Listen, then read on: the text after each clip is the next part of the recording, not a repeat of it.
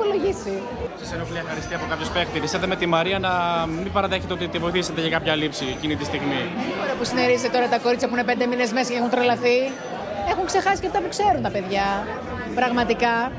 Ε, τώρα που είναι έξω, το βράδυ, θα σας πω και inside info τώρα. Το βράδυ πριν φύγουν, ήταν μαζεμένες σε μια γωνία και μου είπανε δεν ξέρω πώς μπορώ τώρα να είμαι ξανά έξω μόνη μου χωρίς όλους εσάς να μας προστατεύετε. Δεν ξέρω πώς μπορώ να πάω απέναντι από τον δρόμο. ¿qué tal?